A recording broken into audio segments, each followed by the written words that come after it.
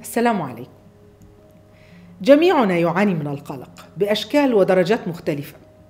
تزايد ضغوطات الحياة آلام وفشل الماضي الخوف من المستقبل حوادث ذات أثر كبير كوفاة أحد المقربين أو فسخ علاقة هامة. الرغبات والاحتياجات والتوقعات غير المحققة في العلاقات والإنجازات والمظهر.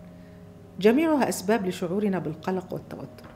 والعيش في الماضي وجلد الذات ولوم الذات بشكل مستمر بصورة قد تؤثر على حياتنا الاجتماعية.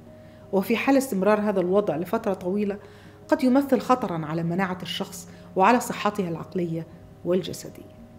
لذلك علينا دائما المقاومة بالاسترخاء وعدم إجهاد النفس بلومها بشكل قاس مستمر وغير صحي قد يوصلنا مع الوقت إلى العجز عن مسامحة وتقبل أنفسنا أو يفقدنا مع الوقت التصالح مع الذات والثقة في النفس والشعور بالطمأنينة والأمل في الغد.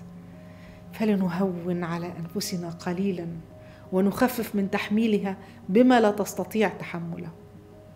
لا تلوم نفسك على أي شيء لم يكن أمره بيدك. أو كنت على قناعة تامة بأنك بذلت فيه كل ما في وسعك. ولا تلوم نفسك على أخطاء الآخرين. نتأكد بأن الماضي ماض لا يمكننا أن نغيره. وما حدث قد حدث. وجلد النفس ولوم الذات والنظر بشكل مستمر إلى الماضي لن يغيروا شيئا. كل ما سيفعلانه هو أن يزيد شعورك سوءا ويعيدك للخلف خطوات. نحاسب أنفسنا نعم ولكن بشعور إيجابي ناضج نضع أيدينا فيه على نقاط الضعف ونقومها.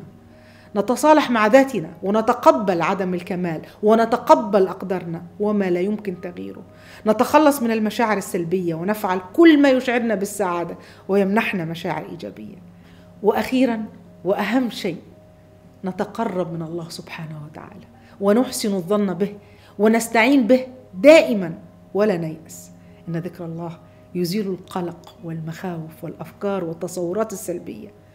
ودائما يضعنا في الطريق القويم والله يحفظكم. ويحفظ قلبكم